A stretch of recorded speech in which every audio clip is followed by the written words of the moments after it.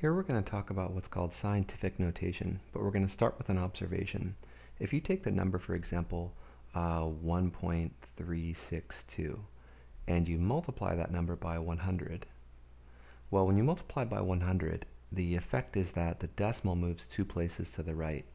So this would be 136.2. Now the same thing would be true if like you multiply by a thousand, the decimal would move three places but to the three places to the right. So it moves to the right as many zeros as you have when you have a power of 10. And the same thing, or something similar happens when you not multiply by 100, but if you divide by 100. So if you take, for example, um, oh, I don't know, about 52.178, um, and you divide it by 100. Now the effect is that the decimal moves two places not to the right, but to the left, right? So two zeros, decimal moves two places to the left to get 0.52178. Now, notice that um, 100 is the same thing as 10 squared.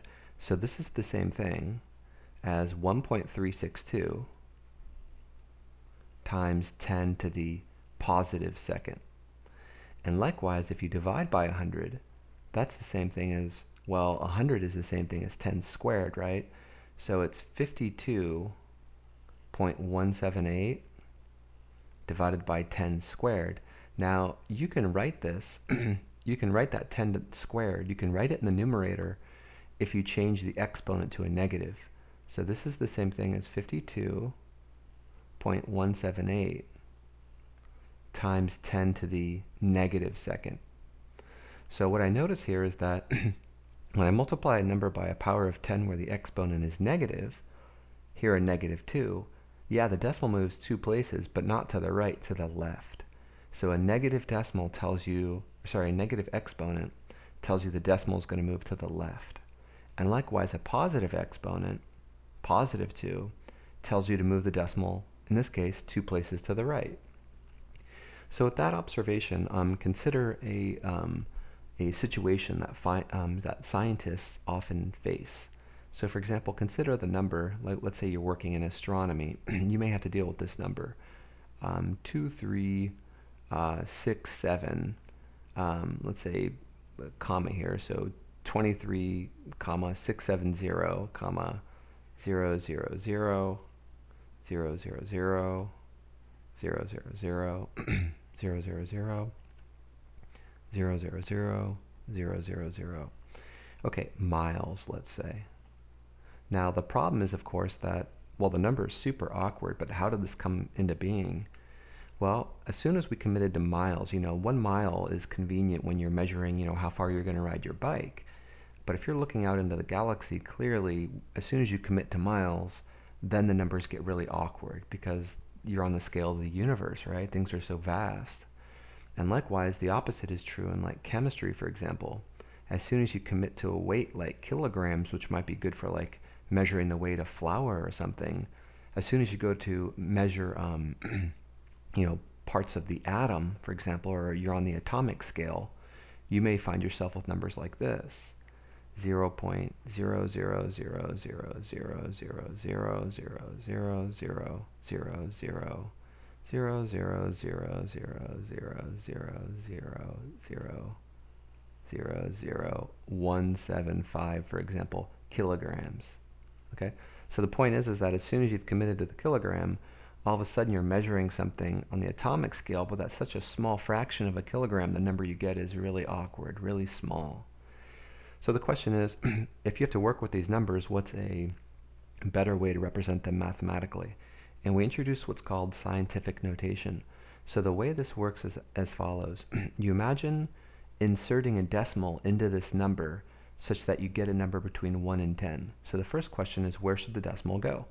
Now if you put the decimal right here, well then you don't get a number between 1 and 10, you get 23.67. And if you put it right here, you get 0.2367, which is not between 1 and 10. The only place a decimal can go is right there. So 2.367. So let's write this down. This is 2.367. Okay. Now, of course, these numbers aren't the same, But this decimal, right, if you move this decimal which way? Well, to the right, right? So if you multiply by 10 to the something, you'll get back to the original number. Now, in the original number, the decimal's way at the end over here. So which way does this decimal have to move to get back to the original number? Well, clearly to the right, because it's like having the decimal here, and this decimal has to move to the right to get back to the original. So how many places? well, let's see. 1, and then 3 more, so 4, 7, uh, 10, 13, uh, 16, 19, and 22. So this decimal has to move 22 places to the right to get back to the original. And that's why this is this, this number is the same thing as 2.367 times 10 to the 22nd miles. Okay, so this number is now written in standard in uh, scientific notation. Let's try the one below it as well. So this would be, let's see, remember the decimal, first thing is insert it so, so that you get a number between 1 and 10. Well, you don't want to put the decimal here because that would be 17.5. And you don't want to put it here because that would be 0.175. Clearly you want to put it right there between the 1 and the 7. So you get 1.75, okay, times 10 to the what? Now, if you put the decimal right here, right, which way would that decimal have to move to get back to the original? Well, clearly to the left because the decimal's way over here. So this decimal has to move to the left to get back to the original. That means the exponent is going to be a negative. Negative what? Well, how many places does it have to move? This is harder. Let's see. It's going to be 3, 6, 9, 12, 15, 18, uh, 21, 23. So to the negative 23rd kilograms. Okay, so I've converted this number into scientific notation. So these two representations in scientific notation, what you have to keep in mind is that the first number that you get is always between 1 and 10. So it's between 1 and 10 and then you multiply that number by 10 by some power of 10 where the exponent can be positive if you have a really large number or negative, for example, if you have a really small number. Okay, so let's gain a little practice converting back and forth between uh, decimal form and scientific notation. So let's say you want to convert to scientific notation and you have uh, 0.000201. Well, first thing is you put the decimal between, uh, to, to, you insert the decimal to create a number between 1 and 10. That looks like a negative. Let's erase it. It's not. So it's going to be, well, 2.01, right? And the question is, which way does this have, this have to now move? Well, let's see. It's, it's like the decimal was here, and that would clearly move one, two, three, four places. So this has to move four places to the left. So it's going to be times 10 to the negative 4. Okay, and then we can also go the other way. We can take a number in scientific notation and expand it out. So I see here that the exponent is positive. That means the decimal is going to move seven places to the right. So I, let's see, it's going to be move one place. That brings me to just 87, but now six more places. And that's going to introduce zeros, right? So one, two, three, four, five, six zeros. So my number is 87 million. So 8.7 times 10 to the 7th is the same thing as 87 million. Okay, now that we know how to go back and forth, um, how to make use of scientific notation, the question is, um, how can we apply it? Let's see an example of that. Okay, so in this example, um, I've given us the distance to the sun. Now it's about equal to, it's close to 93 million miles away. It's pretty far. And likewise, the speed of sunlight, that is the speed at which light travels, is about equal to 186,000 miles per second.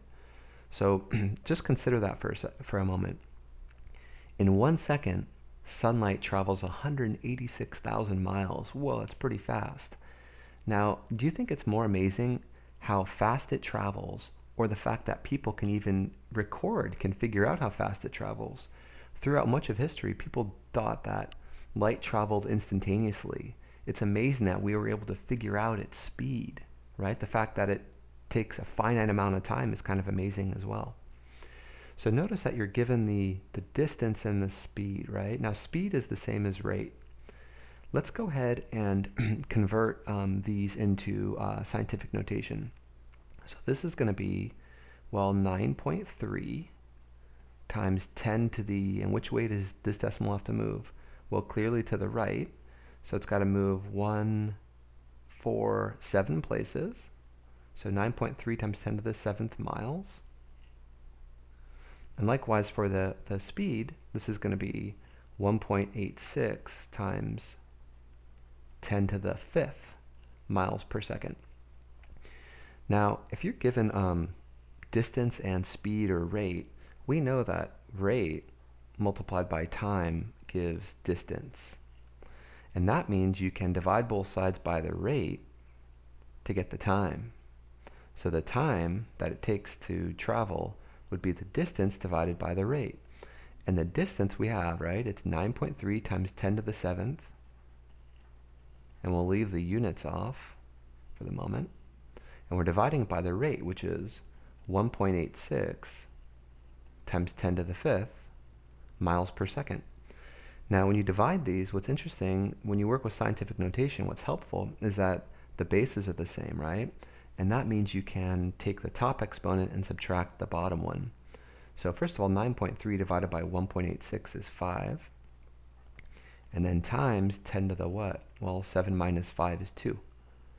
And what we get, so scientific notation makes these calculations uh, easy. now, 5 times 10 to the second is 5 times 100, which is 500 seconds. Now, seconds are hard to think about, so let's convert that to minutes. So 500 seconds, and we're converting to minutes. So there's 60 seconds in one minute.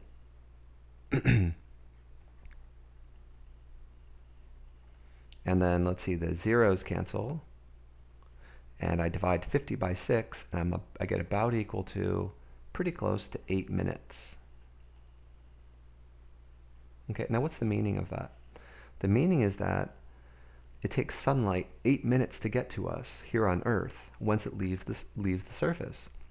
And so if you think about that for a second, that means when you go outside and you look at the sun, you're not seeing the sun as it is right now. You're seeing the sun as it was eight minutes ago. So, in other words, you're looking at the history of the sun, right? The sun eight minutes ago. And the sun may not even exist anymore because you're observing what happened eight minutes ago. Now, the same, the same thing is true for other things. As you look around, like if you're looking at a tree, for example, doesn't it take time for the light from that tree to get to you? So basically, you're seeing the tree not in the present, but as it was in the past. In fact, everywhere you look at, everything you look at, when you see something, you're observing light and it took time to get to you. So everything you see is actually in the past. So if everything you see in the past, everything you see is in the past, my question for you is what is the present? Until next time.